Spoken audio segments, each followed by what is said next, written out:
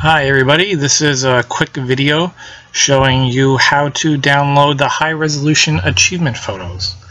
So basically here I am in my profile page at xbox.com. All you gotta do is click achievements here. It'll bring up your various games. Here I have arcade, Xbox One, Windows, etc. So let's go to Dead Rising 3. Click on the box. Scroll down to your achievements and you'll see them all listed. So let's pick the first one here, Master Mechanic.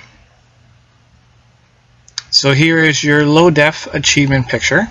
What you're going to want to do is right click and choose open in new tab. And then once it opens you go to the new tab.